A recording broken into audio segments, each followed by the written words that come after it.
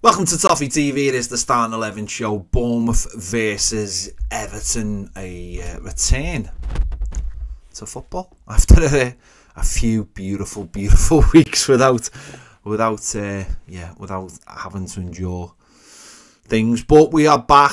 We are in the last part of the season. Big push now to get over the line, and um, yeah, put this terrible, terrible season behind us for so many different reasons. But yeah, this is where it starts. Bournemouth on Saturday. And uh, yeah, it's time to pick up three points, isn't it? It's time to get back to winning ways. It's been so, so long. And um, yeah, it would be nice to do it on Saturday. Let's get into it. Jordan Pickford in goal. A uh, bit of a bit of a mistake on Tuesday for England. It was his first mistake that led to his goal, a goal in 60 games for England. So that's not a terrible record, but of course, a lot of people jumped on that as they do. Um, yeah, just keep be consistent like he has been for Everton and hope it's enough. A clean sheet will be fantastic. Um, hopefully, we'll get one of them. Into uh, defence, right back. I'm going to go with Seamus Coleman. He's just played a couple of games for Ireland. He was uh, man of the match the other night against Switzerland, and he, he done exceptionally well in both games. And I think he's proved his fitness, and it's time to get him back into the side. Um, he's hugely important, and we'll need that leadership, and we'll need that ability to defend and get forward. And he's such an important player that for me, I think now that he's proved that he's fit that he has to go back into the side and it might just be for the one game with, with Newcastle being so close.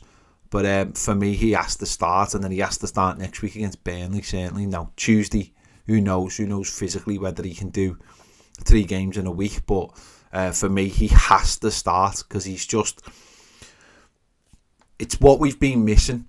The manager obviously doesn't fancy Nathan Patterson, and out of the two of them, I think, I think you know, obviously the skill sets are similar for when Chambers when he was a younger player, but I think now with that maturity, he knows how to defend. He's he still he still can get forward well, but he's such a good defender as well. He knows how to handle fast, uh, tricky widemen. So for me, he has to start. Uh, at left back, for Vitaly Mykolenko, obviously off the back of Ukraine qualifying for the Euros, he'll be on a, he'll have a, uh, he'll be on a big high. And also, he's just he's just he's just played a game as well, competitive game, which is really important as well. A couple of competitive games, so he'll be back straight into the swing of things, no issues there. Um, and he starts at left back. Two centre backs, obviously James Tarkowski and Jarrad Branthwaite. Jarrad Branthwaite obviously went away with the England team. Never got onto the pitch, which I found a little bit strange, but you know that's just the way it is. He's gone away and he's trained. He'll have trained hard um, while he was with England, but sad that he didn't get that little reward of a of a first cap. But you know he'll have to continue what he's doing and, and earn that first cap. Whether it'll come this season, I'm not sure. With it being so close to the Euros now, but we'll wait and see. And he's just got to keep on, keep on, keeping that level uh, and improving if he can do with in these games as well, and they're going to be huge games. And obviously, James Tarkowski next to will, has all that experience and um, probably will have enjoyed the break as well. Um, so that's my back four. Into midfield, I am going to go with Amadou Onana uh, in the number six role because, uh, well, not because, but he's just, again, showed this week for Belgium how good a player he is. Uh, keeps it nice and tidy one two touch, two touch, uh, great defensive tackler, and has to play for me. Has to play for Everton. He's a fantastic player. I think or he's got got the ability to be a fantastic player for Everton, and we have to start. And for me, he's, he's one of those players who has to be first on the team sheet every week, and you're almost building the team around him. It hasn't necessarily been the case.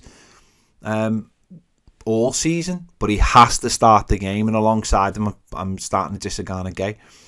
I just think that Garner, Onana, sorry, and James Garner are just occupy too many similar positions on the pitch, and I think I think Gana Gueye will go hunting for the ball and also carry the ball at times as well. Um, so that's why he starts. And again, it's that experience factor for me with Idrissa Gana Gueye. He's been there, seen it, done it. Um, I, just think when when Gana plays, if you look at his if you look at like heat maps and stuff, he just he's in too many similar positions to Onana, and it doesn't it doesn't get us up the pitch high enough. And we have to be a little bit brave and a little bit bold. And I'm not saying that Idrissa Gana Gueye is more of a attacking player, but he will carry the ball and he will try and slip players in. Um, and he will go hunting higher up the pitch to win the ball back as well. So those two start for me. Ahead of them, Abdoulaye Doucouré. And I, I just think now is the time Doucouré has to hit the ground running. He was obviously out for uh, a couple of months by one game against Villa. Came back, hasn't really got up to the pace of it now. He, now he's been out for obviously we've we've had a few weeks out.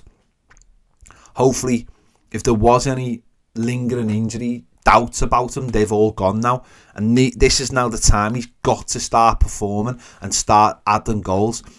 He's still our top goal scorer, which is embarrassing, I think, for some of those other players in the team that a player who scored his last goal against Newcastle United in December is still our uh, top goal scorer. I, I find that I find that highly embarrassing for other players in the team um, that they haven't managed to get up to that level yet. So let's hope he starts chipping in because he that's the difference I think between winning and not winning has been Doucouré not scoring goals or not being in the side to score the goals. So yeah, just get back at it.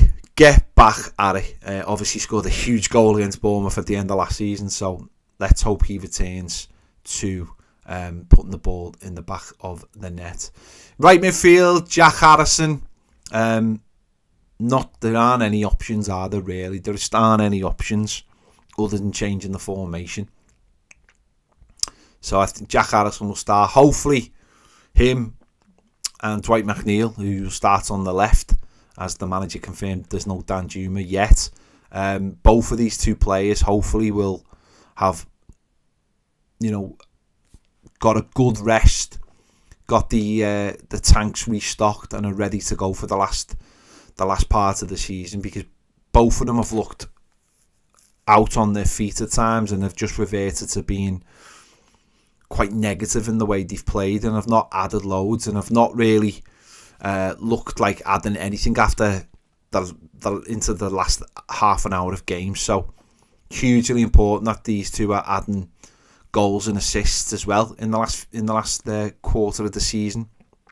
And it's uh, yeah, hopefully they find their feet and find some form because that just in the last part of the season that just wasn't there since since you know since the uh, the, the the four games that we won both of these have looked not quite on it and have looked really tired of late and they need to have hopefully they've had a really good rest and will benefit from that um, so yeah and up front um, I'm going to continue with Beto I just think that you know he scored against West Ham okay he didn't have a great game against Manchester United but again I'm not digging him out for that I don't think either him or Dominic Calvert-Lewin have had much to work with playing on their own up front this season.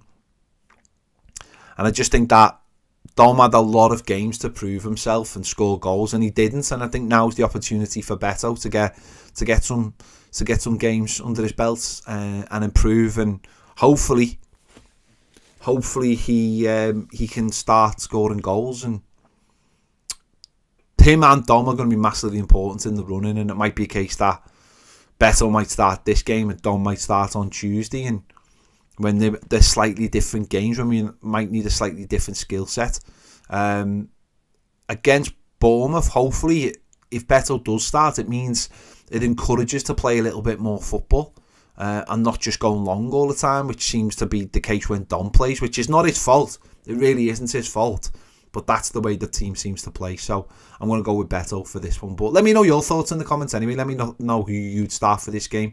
Uh, what changes you'd make for the lineup. Would you change the formation? Would you go to three at the back? Let me know your thoughts. What what can get us us scoring goals that will get us winning games? Let me know your thoughts in the comments. Make sure to give this video a like, subscribe if you haven't already. If you want more great videos, daily exclusives, and no adverts, on any of the videos or the podcast, join us over on Toffee TV Premier. The link is in the description and the QR code is coming up on the screen now. See you later.